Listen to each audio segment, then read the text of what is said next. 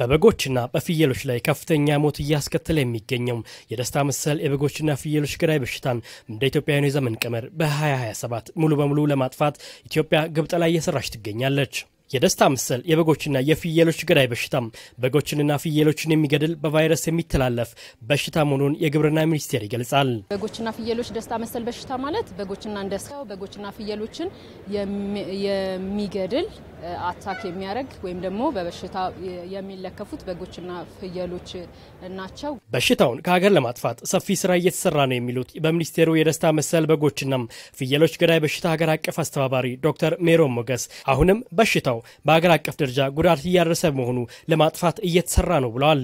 በሽታው በአብዛኛው የሀገሪቱ ክፍሎች ይገኛል ማለት ነው። ይህም ስርጭቱ ከአንድ ቦታ አንድ ቦታ ቢለያይም የሌለባቸው ቦታዎች አሉ። እስከ 52 percent ደግሞ በሽታው ስርጭት ያለበት አካባቢዎች አሉን። በሀገራችን በመላው ሀገሪቷ ውስጥ በሚገኙ ክልሎች፣ ወረዳዎች፣ ዞን ይህ የበሽታ መቆጣጠርና ማጥፋት ዘመቻ በመተግበር ላይ ይገኛል ማለት ነው። በሀገር አቀፍ ደረጃ በተጀመረው ዘመቻም የቀድሞው የደቡብ የሲዳማና የኦሮሚያ ክልሎች ቀጠናዊ የደስታ መሰል የበጎችና ፍየሎች ገዳይ በሽታ ለመቆጣጠር በጋራ በመስራት ላይ ይገኛሉ።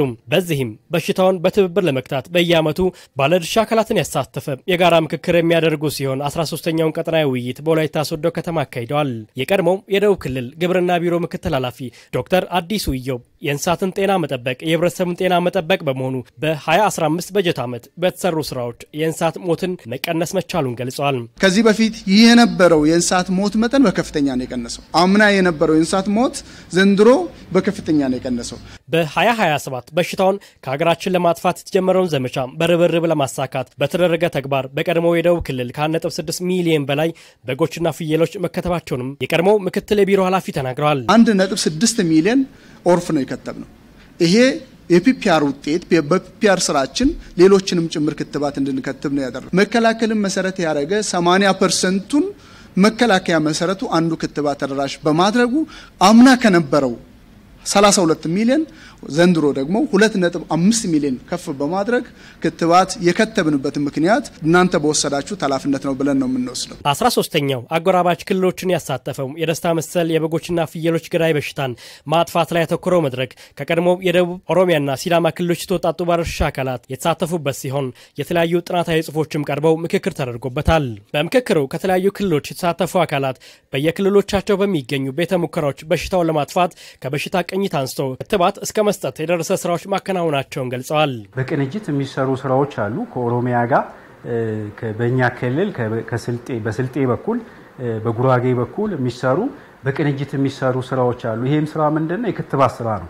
ሶዶ ላቦራቶሪ ከኛ ጋር በስፋት ይሰራል። በዚህም በብላቴና በዚህ በዲንቱ አድርጎ እስከ ሁምቦ ወረዳ ድረስ አባያ ሐይቅ ድረስ ከነሱ ጋር ነው ከወላይታ ጋር ነው የምንሰራው እስከ ዲላ ማለት ነው። ከሶዶ ጋር የሚያዋስኑን ወረዳዎች ላይ ሰርተናል። እኛ ለምንድን ነው የሰራ ነው? በሶዶ በኩል በሽታው ተገኘ፣ እነሱ አገኙ። እነሱም control ስላረጉ እዛ ጋር በሽታውን ስለተቆጣጠሩ ክትባት ስለሰጡ ወደ እኛም እንዳይተላለፍ እኛም መስጠት አለብን ብለን በጋራ ይሄ coordination በመፍጠር በጋራ interface area ውን እንደዛ እንከትባለን ማለት ነው። በቀድሞ የደቡብ ክልል ግብርና ቢሮ የእንስሳት ጤና ዳይሬክተሩ ዶክተር ቃላብ ሽመልስ ይህን ገዳይ በሽታ ለመቆጣጠርና ከሀገር ለማጥፋት ከአጎራባች ክልሎች ጋር በቅንጅት ለመስራት ቀጠናዊ ውይይቱ አስፈላጊ ነው ብለዋል። ዛሬ እንዳየኸው አጎራባች ከሆኑ ክልሎች ውስጥ የያቤሎ regional laboratory ና የአሰላ regional laboratory የጂንካ የሶዶ እንዲሁም የአዲስ የተመሰረተው የሲዳማ ክልል regional laboratory ተገናኝተው በጋራ share የሚያደርጋቸው boundary ዎች አካባቢ ያሉትን ወረዳዎች በጋራ የሚጎራበቱባቸውን ቦታዎች ላይ የጋራ የሆነ አንዱ ለብቻው ማይሰራው harmonized የሆነ የክትባት አገልግሎት ለመስጠት ያስችላቸው ዘንድ ለሚቀጥለው ዓመት የሚሆን እቅድም የሚነድፉበት ነው። ቀጠናዊ የባለድርሻ አካላት ምክክር ክልሎች ያሏቸው ልምዶች በመቀመር በቀጣይ መጠቀም በሚያስችሉ ጉዳዮች ላይ በመምከር ተጠናቋል።